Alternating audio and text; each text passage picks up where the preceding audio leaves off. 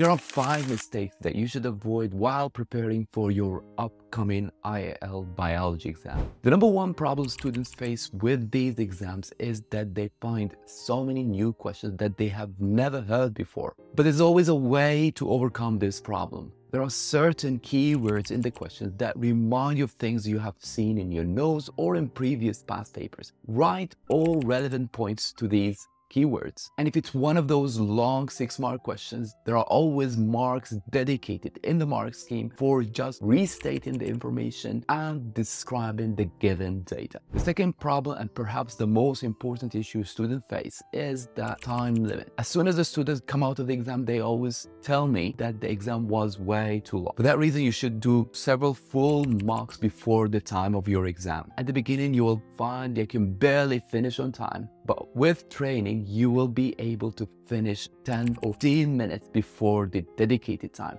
This gives you some time to revise your answers and add extra points. When comparing biology to other exams, you'll find that the curve of the biology is quite lower than other subjects. For that reason, it is okay to lose marks during the exam. In many years, the curve went down to 60 or even 50% of the mark of the exam. So don't worry if you're missing a couple of questions while solving because you can still score a full UMS on that exam. Problem number four students face are the math questions. Many students have told me that the math questions in biology are harder than the actual math exam. For that reason, I always advise students, especially those that don't have ability to solve math problems, to keep those questions till the end because these questions tend to take a lot of time. So it's not worth it spending 10 minutes on a math question while it's only worth a few marks. The last problem students face in their preparation is that the student become very focused on the hard questions